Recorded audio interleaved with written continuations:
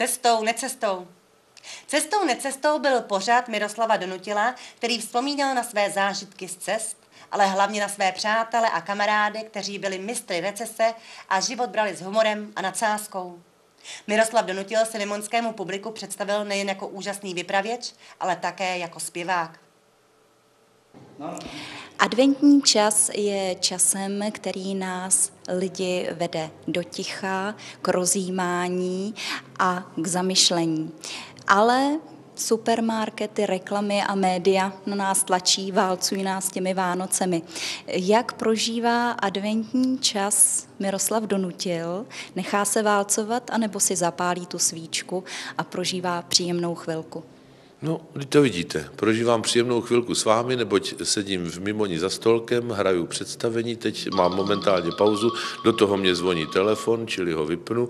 A protože e, mají lidi i takovou e, touhu se chvilku upozastavit, e, přijít se pobavit a já jsem tady od toho. Takže vlastně to je teď moje hlavní činnost v tom předvánočním čase. Každý den hraju v Národním divadle nebo mimo něj a vlastně se zastavím až 23. prosince na chvilku.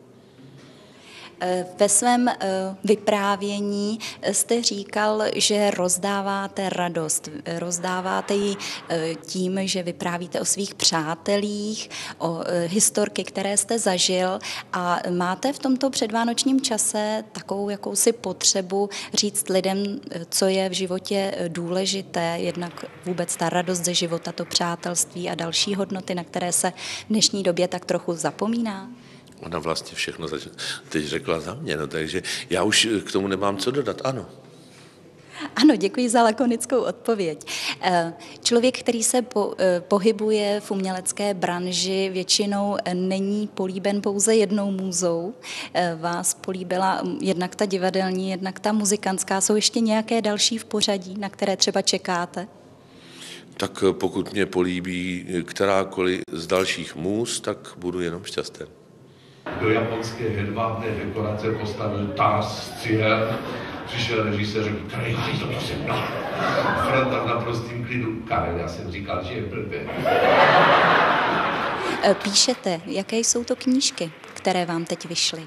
To jsou knížky, e, které obsahují vlastně všechno to, co jsem vyprávěl na jevištích a před televizními kamerami, opatřené čtyřmi fotografiemi lidí, o kterých vyprávím. A e, v příštím roce v únoru by měla být knížka, která bude pokračováním té, která vyšla k mým padesátinám a jmenovala se 50 uzlíků na provázku života. A teď jsme s paní Šloufovou dopsali dalších 10 uzlíků, takže vyjde 60 uzlíků na provázku života, neboť mě v únoru 7. bude 60. Ano, ano, jste vodnář. Eh, jak se toto znamení podepisuje na vaší povaze? Jste vzdušné znamení? Já si myslím, že si nemůžu stěžovat. Jste spokojen? Dá se říct, že v tomto smyslu ano, protože to znamení není špatné. E, popřejte našim divákům něco pěkného do nového roku. Ať si každý přeje, co chce sám a ať se mu to hlavně splní. Já vám přeju jenom to nejlepší.